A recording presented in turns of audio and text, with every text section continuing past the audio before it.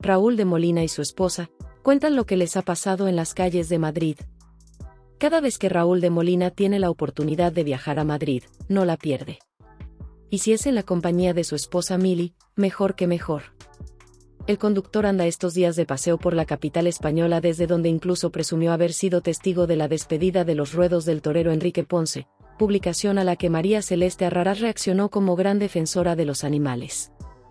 Además de seguir disfrutando de sus mejores restaurantes, ir a un partido de fútbol y ver caras conocidas, Raúl también ha vivido un episodio que le ha dejado muy sorprendido. Lo ha sufrido en primera persona junto a su mujer y así se lo ha querido compartir a sus seguidores en las redes. Son muchos los años que llega viajando a Madrid, pero esta vez ha sido especial.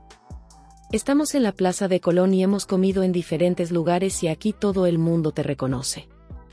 Esto se ha convertido en Latinoamérica, Madrid se ha convertido ahora, yo creo que en la capital de América Latina, miren esto. Esto no es Buenos Aires, esto no es Caracas, esto es Madrid, pero hay más latinoamericanos que en muchos países de América Latina, explicó. Y dirigiéndose a Mili, le preguntó, ¿cuántas fotos me pidieron? Y ella contestó, muchísimas.